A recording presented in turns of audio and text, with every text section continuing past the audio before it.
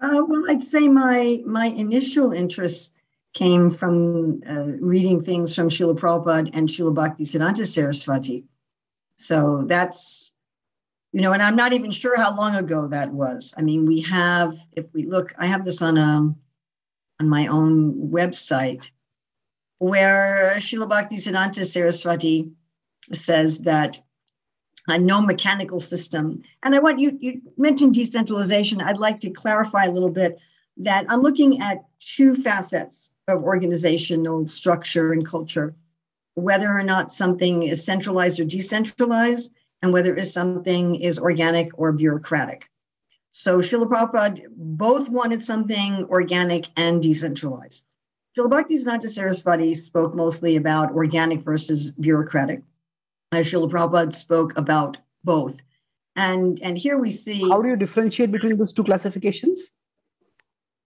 Uh, you said uh, yeah. Well, let me answer the first question first, and then I'll yeah, get. Sure. Is that sure. right? Because sure, That's that's another. that's, no, sure, please. But, but, that is an excellent question. Uh, but anyway, my interest came from reading these statements from Srila Bhaktisiddhanta Saraswati first, that there should be no mechanical system, that uh, the idea of an organized church in an intelligible form indeed marks the close of the living spiritual movement. Now, this word living is organic. So this is in direct opposition to bureaucratic. And the great ecclesiastical establishments, so here again, he's talking about bureaucracy, are the dikes and the dams to retrain the current and cannot be held by any such contrivances. They indeed indicate a desire on the part of the masses to exploit the spiritual movement for their own purposes. They also unmistakably indicate the end of the absolute and unconventional guidance of the bona fide spiritual teacher. Uh, so okay. mm-hmm. it, it's heavy. It's it's really. I mean, Srila Bhaktisiddhanta here is very heavy. He says no stable religious arrangement for instructing the masses has yet been successful. He says that the mechanical adoption of the unconventional life by any person will not make him a fit teacher of religion. Regulation is necessary for controlling the inherent worldliness of conditioned souls, but no mechanical regulation has any value even for such a purpose. So then also reading things from Srila Prabhupada, which perhaps are better known. Uh, this, this one was Gopiparanadhana Prabhu's one of his favorite. Our leaders shall be careful not to kill the spirit of enthusiastic service, which is individual, spontaneous, and voluntary all of us should become expert managers and preachers. That's decentralized.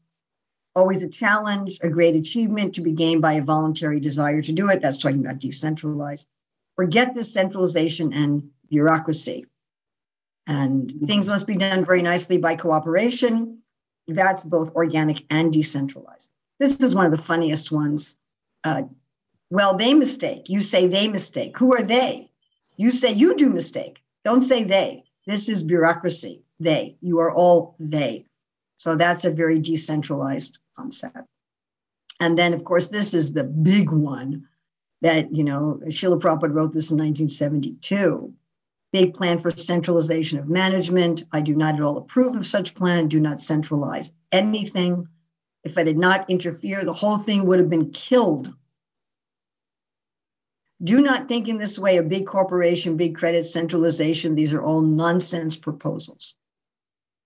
The movement is for training men to be independently thoughtful and competent in all areas of departments of knowledge and action, not for making bureaucracy. Once there is bureaucracy, the whole thing will be spoiled. So, you know, it's those sort of, of statements that that sparked my interest. But I must admit that, like many other devotees that I've spoken to and that, you know, consider these things, uh, I basically dismiss them because I had the mistaken belief, which many people have, that an organization by definition had to be bureaucratic and centralized, at least to some extent. I, I just thought those were synonyms. I thought organization and bureaucracy were synonyms. So I didn't really do much until I entered um, graduate program when I was getting my master's and PhD. My master's is in uh, school management. I have an MSA, so a Master of School Administration. And my PhD is a specialty in leadership.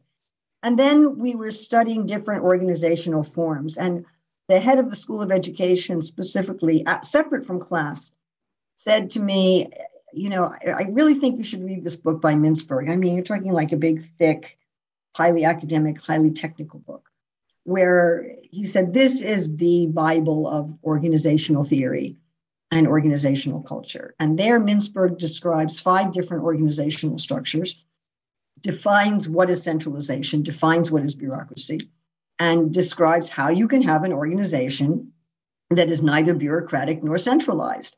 And then this was like the big eureka moment where I went, oh, oh. Srila Bhaktisiddhanta Saraswati and Srila Prabhupada knew what they were talking about. What a surprise. And, you know, I mean, I'm sorry to, to admit that up until that time, I I didn't understand it.